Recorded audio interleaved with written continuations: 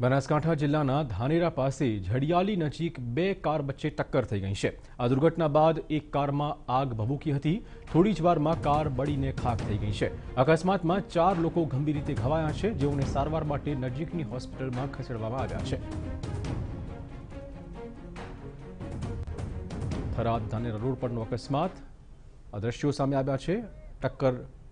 પછી એક કારમાં આગ લાગી ગઈ કેટલાક લોકો ઘવાયા પણ છે જે લોકો ઘવાયા છે તે ચાર લોકોને હાલમાં હોસ્પિટલમાં ખસેડવામાં આવ્યા છે.